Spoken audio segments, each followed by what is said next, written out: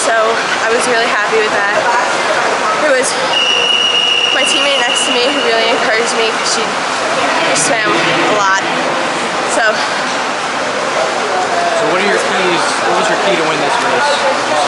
um, just stuck to what I know, have good underwaters, and keep my rhythm through the whole 100 and try and finish as fast as I can. Is it good having a teammate next to you when you're racing? Is that It's really amazing because I practice with her all the time.